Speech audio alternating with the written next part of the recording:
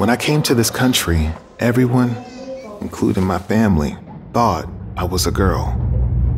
My stepmother was strict and religious. She would treat me differently from my brothers, and it hurt my feelings. As a teenager, I realized I wasn't attracted to guys. Instead, I wanted to be one of them. After my family found out, they made me leave the house.